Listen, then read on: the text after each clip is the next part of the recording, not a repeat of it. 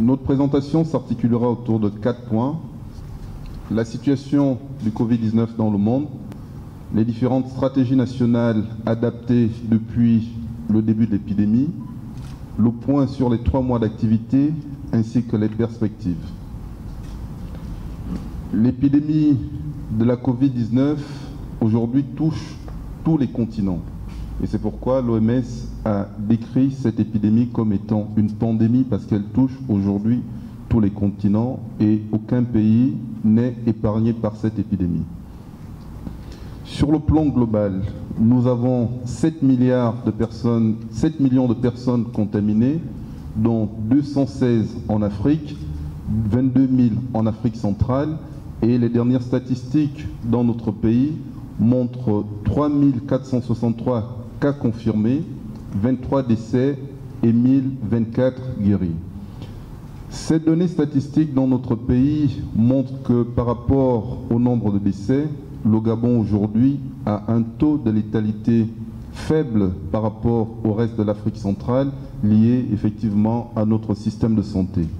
Pour ce qui est du nombre de guérisons, nous sommes dans la fourchette de l'Afrique centrale avec une différence non significative, c'est-à-dire 29,57%, c'est-à-dire 30% de personnes guéries dans le cas de la riposte au Covid-19.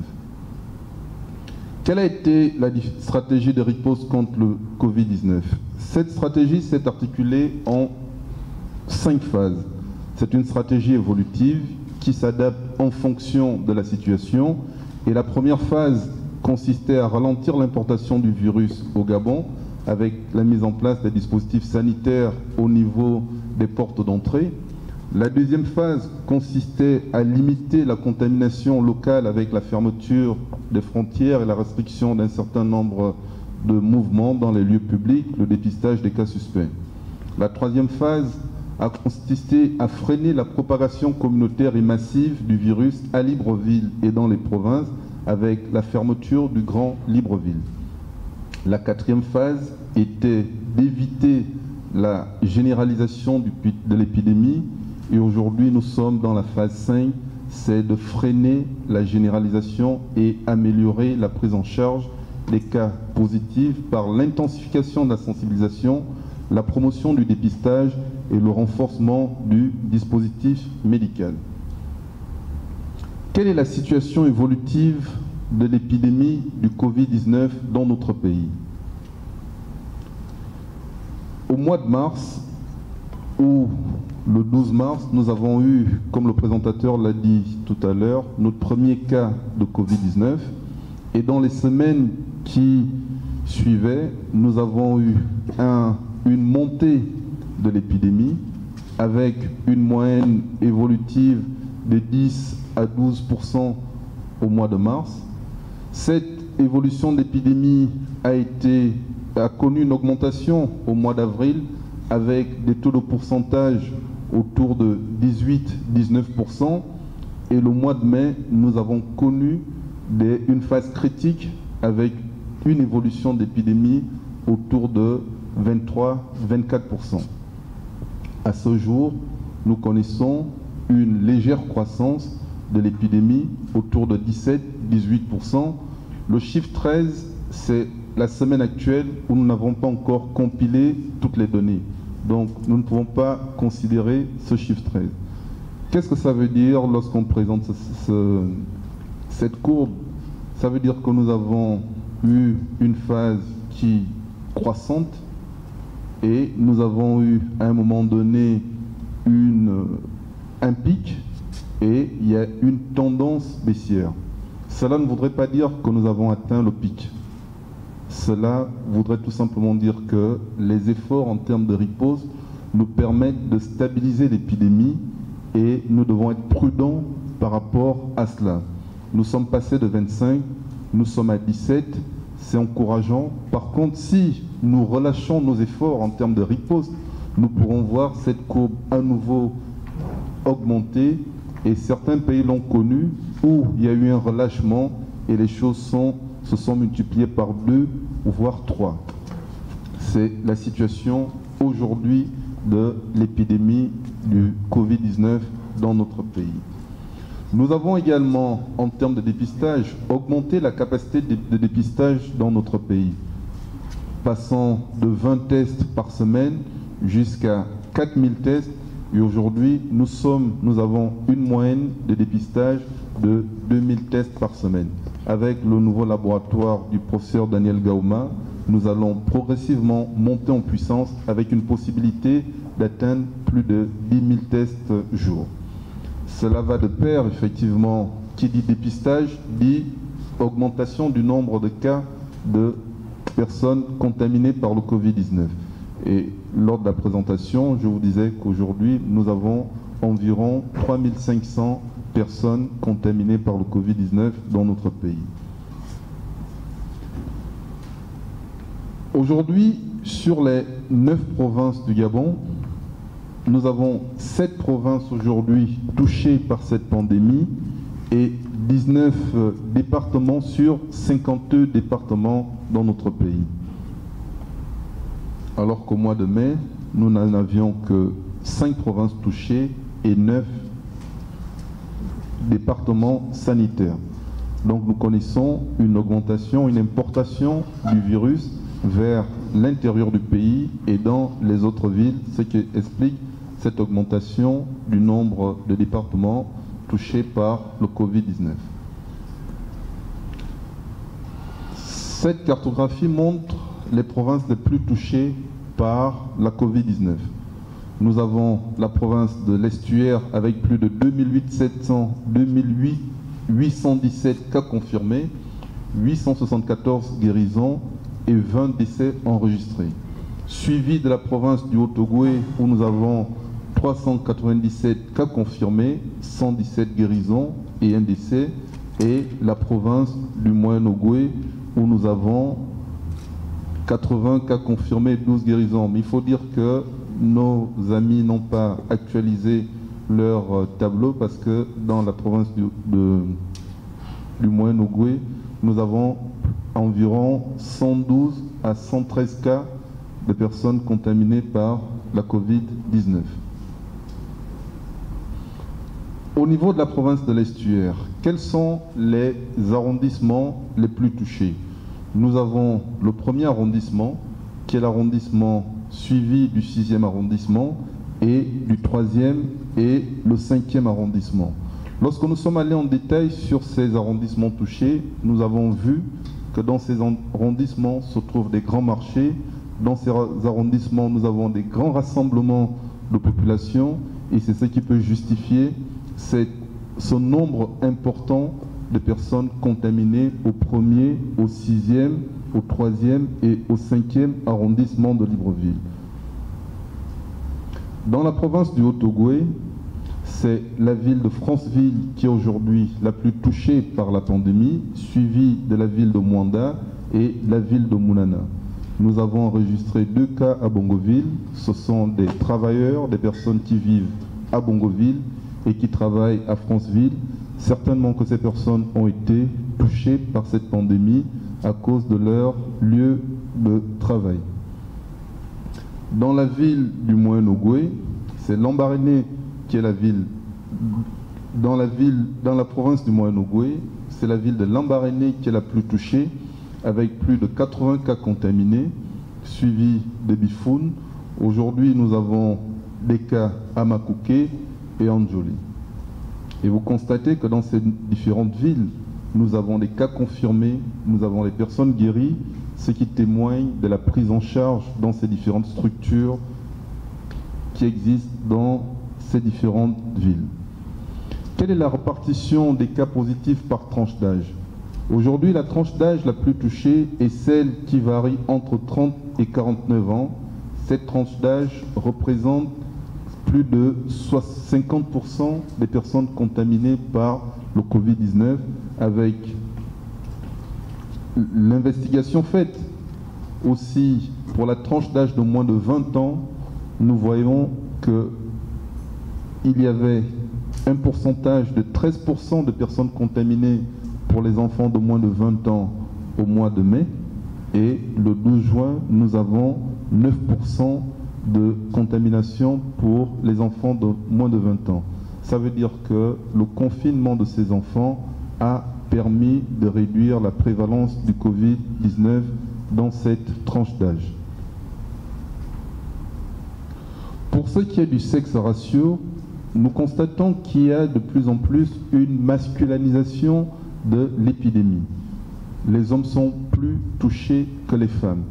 Et le point qui a été fait sur euh, le sexe ratio montre aujourd'hui, par rapport au mois de mai, que 61% d'hommes sont touchés par rapport aux femmes. Effectivement, c'est un constat que nous voyons tous les jours où nous constatons que les hommes respectent au moins la mesure sur la limitation des sorties non essentielles. Il suffit de sillonner, il suffit d'aller dans les quartiers, il suffit de se balader pour constater qu'il y a plus d'hommes dans les rues que les femmes et les conséquences sont patentes. Nous avons plus d'hommes contaminés que les femmes. Pour ce qui est de la recherche des cas contacts, durant cette période de mai à juin, de manière cumulative, nous avons pu suivre 4087 cas contacts et parmi les cas contacts, nous avons 334 personnes qui ont été contaminées parce que ces personnes ont été des cas contacts des personnes positives. C'est 8% de personnes contaminées. Par contre, nous constatons qu'au mois de mai, c'était à 12%, et donc nous avons eu une diminution de contamination, de contamination plutôt des personnes contacts dans le cadre de la lutte contre la Covid-19. Pour ce qui est de l'évolution des modes de transmission, le principal mode de transmission est familial. 50% des contaminations de la Covid-19 se font dans la famille. Et nous avons constaté que de mai à juin, ce pourcentage est passé de 40,9% à 50,8%.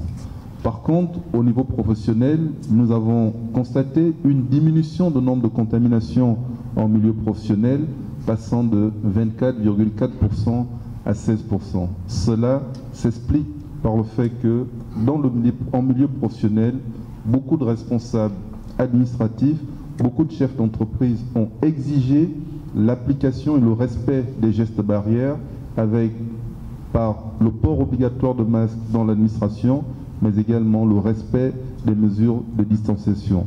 Donc ça voudrait dire que lorsqu'on respecte les mesures barrières, nous pouvons voir une diminution de la contamination du Covid-19 dans ces différents espaces. Sur le plan sanitaire, nous avons eu une augmentation du nombre de cas de personnel de santé passant de 8,2% à 12,7%. Cette augmentation est liée à la découverte des cas dans les provinces. Vous voyez, à Libreville, nous avons connu un boom en termes de contamination et tout de suite, les personnels de santé ont été aguerris sur l'utilisation systématique des mesures de protection individuelle. À l'intérieur du pays, ce sont des équipes qui ne sont pas suffisamment rodées malgré qu'elles aient été formées. Et lorsque le premier cas est découvert, ce premier cas est toujours considéré comme un accès paluste. Il le soigne sans se protéger et ça explique ce petit boom, cette augmentation du nombre de contaminations en milieu sanitaire. Une étude a été faite sur les institutions, un certain nombre d'institutions publiques et privées. Nous avons effectué 1476 prélèvements, dont 59% dans le secteur privé et 41% dans le secteur public. Les résultats de cette analyse ont montré que 77% des personnes positives étaient du secteur privé et 23% étaient du secteur public. Ça montre tout simplement que le secteur privé fait de plus en plus d'efforts pour le dépistage des personnes de leur agent. C'est un gros effort et nous recommandons que le secteur public également puisse suivre cet effort fait par le secteur privé. Concernant la prise en charge, au mois de mai, nous n'avions que six structures, si je peux le dire ainsi, six structures de prise en charge. Nous avons les hôpitaux et nous avions un centre de traitement ambulatoire pour la prise en charge des personnes contaminées par le Covid-19. Au mois de mai, au mois de juin plutôt, nous avons voulu améliorer la prise en charge en augmentant la capacité de prise en charge des personnes contaminées par le Covid-19. C'est ainsi que nous avons mis en place des centres de traitement ambulatoire pour la prise en charge ambulatoire des personnes contaminées. Et nous avons pu implanter 33 centres de traitement ambulatoire dans tout le pays, mais également augmenter le nombre de structures de prise en charge. Ces structures de prise en charge, ce sont les CHR qui, et les centres médicaux qui, chaque fois qu'il y a des nouveaux cas, tout de suite assurent la prise en charge des personnes contaminées par le Covid-19. En termes de capacité diagnostique, nous avons vu une augmentation du nombre de laboratoires. Au mois de mai, nous avions quatre laboratoires capables de faire le diagnostic avec une capacité diagnostique de 1000 tests par jour et aujourd'hui, nous avons sept laboratoires capables de faire plus de 11 000 tests par jour.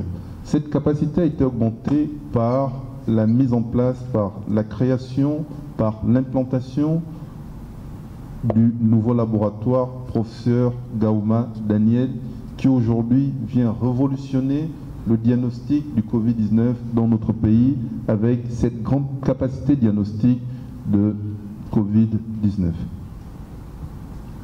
S'agissant de la prise en charge des cas Covid-19, nous avons depuis le début de l'épidémie, sur l'ensemble des personnes qui ont été prises en charge dans notre structure, 34% de personnes hospitalisées et 66% des personnes suivies en ambulatoire.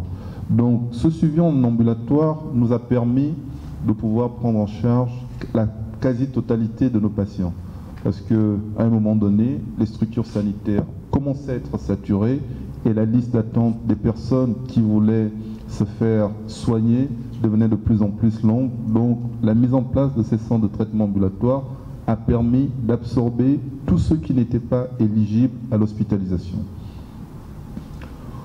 Pour ce qui est des patients hospitalisés, nous avons sur les 34%, ce qui correspond sensiblement à 800 personnes qui ont été hospitalisés depuis le début de l'épidémie, nous avons 87% des patients qui sont sortis de l'hôpital, c'est-à-dire qui ont été guéris, qui ont eu une guérison clinique.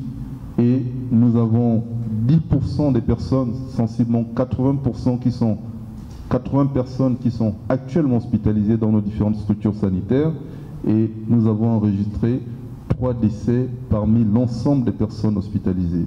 Cette diapositive montre qu'il ne faut pas avoir peur d'aller à l'hôpital, que plus de 87% des personnes hospitalisées sortent guéries de nos structures sanitaires. Donc c'est important parce que nous avons un certain nombre d'informations où les gens préfèrent prendre des décoctions que d'aller à l'hôpital parce que pour ces personnes, l'hôpital est synonyme de la mort. Non, voici les chiffres qui parlent les chiffres qui montrent que 87% des personnes hospitalisées sortent guéries et qu'il n'y a eu que 3% de décès parmi les personnes hospitalisées. Ce chiffre, ce tableau montre que la majorité de personnes qui ont été prises en charge dans les CTA ont eu une inclusion thérapeutique. Donc plus de 80% des personnes qui ont été vues dans les centres de prise en charge, dans les CHU, les SICOV, les unités mobiles, les infirmeries, les hôpitaux ont bénéficié d'un traitement de prise en charge du Covid-19 et c'est ce qui explique ce succès thérapeutique qui a été matérialisé par ce diagramme. Pour ce qui est de la fréquence des symptômes, quels sont les symptômes les plus courants dans le cadre du Covid-19? La pathologie respiratoire constitue l'une des premières causes d'appels, d'appels du 1410, d'appels de la régulation médicale, suivi de la fièvre. Donc très souvent, ce sont les symptômes connus, c'est-à-dire tout, plus fièvre, difficultés respiratoires, ce sont ces premiers symptômes qui sont souvent à l'origine des appels, qui poussent le patient à aller à l'hôpital pour se faire soigner. La perte de l'odorat représente 9% de ces symptômes et en creusant, nous avons vu que cette perte de l'odorat survient souvent chez, plus chez les femmes que chez l'homme. Pour ce qui est des comorbidités, par rapport à l'ensemble des patients vus, nous voyons que l'hypertension artérielle constitue l'une des principales comorbidités observées dans le cadre du Covid-19. Après, l'hypertension artérielle, nous avons le diabète qui devient aujourd'hui la première cause avec un pourcentage de 23%, c'est-à-dire une augmentation par rapport au mois dernier. En mai, nous avons 14% et aujourd'hui, nous avons 23% des personnes contaminées par euh, le Covid-19 diabétique. Et comme vous le savez, ces comorbidités constituent aujourd'hui des facteurs de gravité de la maladie à Covid-19. À une seule condition, lorsque ces comorbidités ne sont pas bien suivies, lorsque ces comorbidités ne sont pas bien traitées, ça constitue un danger pour les personnes contaminées par cette maladie. De manière globale, nous pouvons dire qu'en termes de taux de létalité, aujourd'hui, nous avons un taux de létalité qui est autour de 0,66%, c'est-à-dire sur l'ensemble des personnes contaminées par le Covid-19, nous avons enregistré, nous avons enregistré 23 décès déclarés, c'est-à-dire des décès qui ont été positifs à l'examen du PCR positif au Covid-19. D'aucuns se demandent pourquoi il n'y a, que 23 personnes. Le Covid-19 est une maladie à déclaration obligatoire et nous ne pouvons faire des déclarations que lorsque nous sommes sûrs et certains que ce sont des personnes qui ont eu des tests positifs. Nous ne pouvons pas faire de déclarations sur la base du diagnostic présomptif. C'est pourquoi nous sommes rigoureux dans la notification de la déclaration des cas positifs au Covid-19. Quelles sont les perspectives? En matière de prévention, nous allons soumettre au gouvernement, au COPIL, au comité de pilotage, de maintenir les mesures sanitaires et sécuritaires aussi bien à Libreville que dans le reste des provinces. Il faut renforcer le port de ces mesures, le port obligatoire de, des masques. Il faut respecter les mesures liées à la distanciation sociale et il faut respecter les mesures d'hygiène. Par contre, en matière de prévention, toujours, nous pouvons, avec les résultats actuels, penser de manière progressive à un allègement de certaines mesures de restriction. Et à cet effet, il y a un travail qui est en train d'être fait avec euh, le gouvernement qui va nous soumettre une liste des mesures restrictives qui avaient été prises et au cas par cas, nous allons voir quelles sont les mesures qui peuvent bénéficier d'un allègement et d'autres mesures qui peuvent être maintenues parce que malgré qu'il y ait une évolution avec une tendance baissière de la courbe, ça ne voudrait pas dire qu'il y a la calmie, ça ne voudrait pas dire qu'il faut laisser, il faut baisser les bras, ça voudrait tout simplement dire qu'il faut continuer à faire des efforts en matière de prévention. Pour ce qui est du dépistage, nous allons renforcer le diagnostic au niveau des provinces par l'implantation des appareils diagnostiques à PCR dans toutes les provinces du Gabon afin que certaines provinces n'effectuent plus des déplacements dans d'autres provinces pour effectuer le test PCR. Les équipements sont arrivés et dès la semaine prochaine, nous allons commencer par la ville de Port-Gentil, par Langounier, par le Wallentem, en fonction effectivement du profil épidémiologique de chaque province.